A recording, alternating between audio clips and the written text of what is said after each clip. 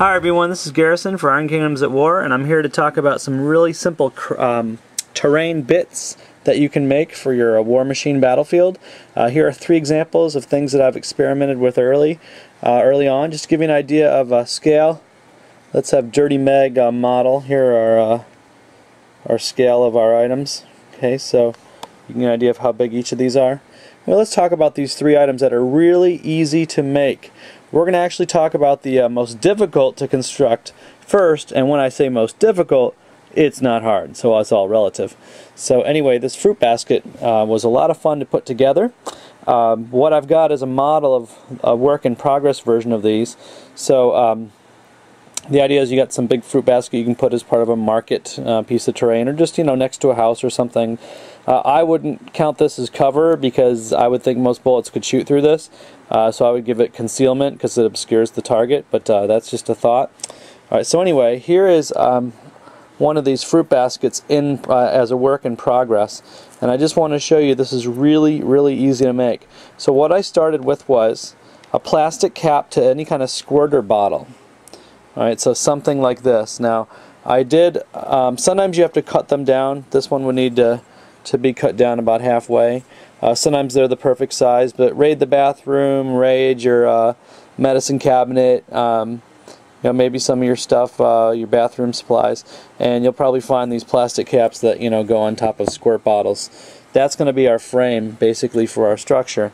So what you do is, really simply, you cut up some balsa wood, Alright, and this is, you can see the bottom of this um, structure.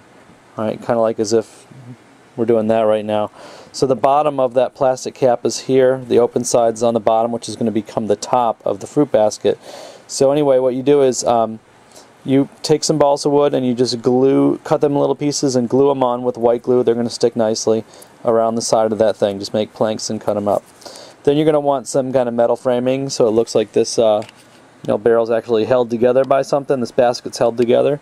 So then what you do is you take some uh, pieces of cardboard. I don't know if you can tell, but let's see. Quest to get revenge against Snake Eyes. Alright, so this was actually an old kind of um, card that came with a G.I. Joe action figure for one of my kids. Alright, so that's my cardboard material right there.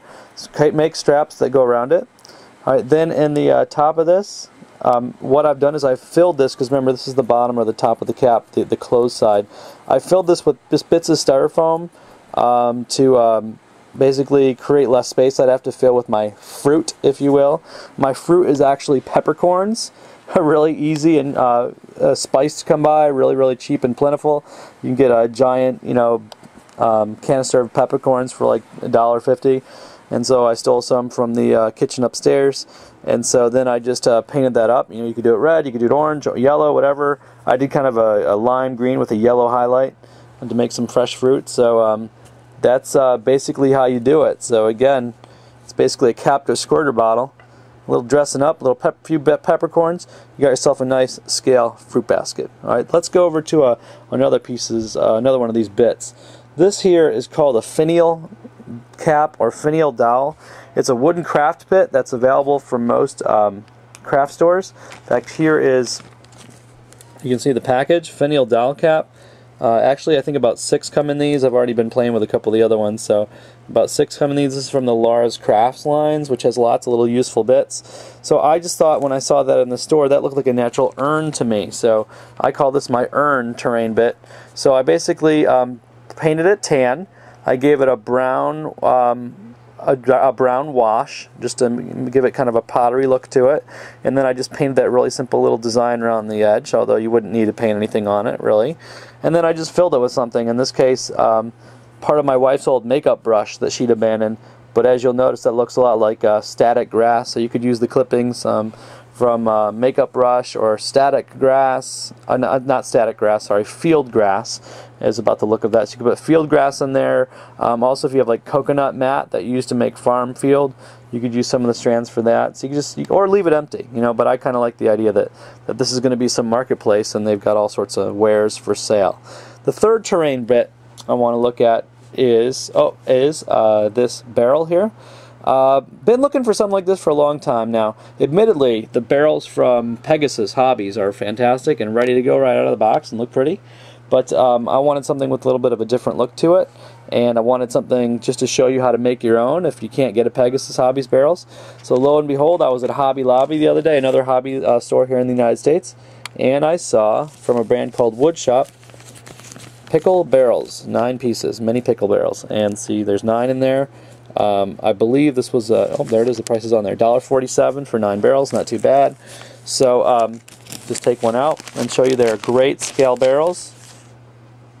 Dirty Meg, we're going to need you to go on the catwalk here and model for us again. All right, so there's uh, so there's Dirty Meg and, and one of the barrels for scale. Okay, so the barrel is um, you know just this plain wood color out of the box. Um, what I did was I, I scored this with X-Acto knives to try to create some vertical planks in this uh, before painting it. To be honest, they didn't come out. Um, if I'd used a utility knife or a craft knife and carved a little deeper, that might have worked. But uh, getting in between those rims, um, those small rims, was tricky. So if I went in with a bigger knife, that's very questionable.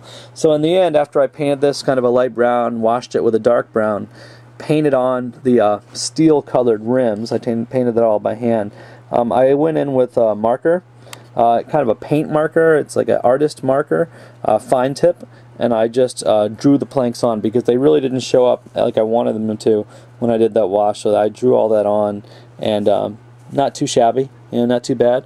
So bottom line is, here's three easy and very cheap terrain bits that you can add to your board just for a little flavor, a little uh, narrative.